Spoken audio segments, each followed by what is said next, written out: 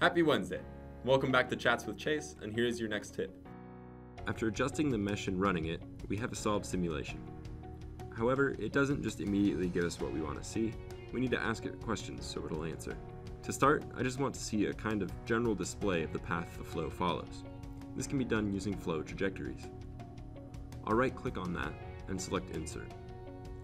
This is a little different with external flow than it is with internal.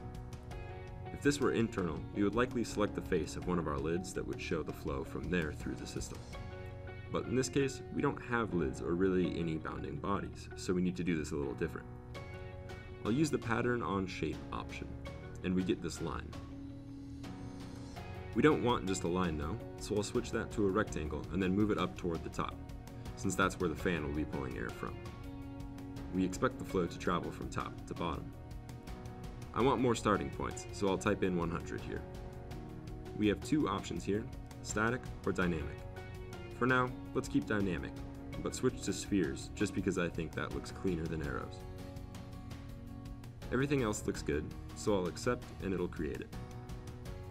At first, it kind of looks messy, but if we right click and play it, it shows more of the actual motion which helps us visualize much better.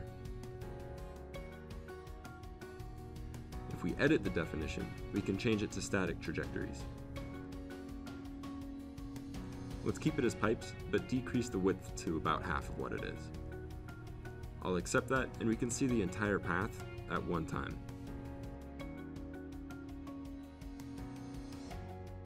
Thanks for watching. Contact me with any questions, and I'll see you tomorrow.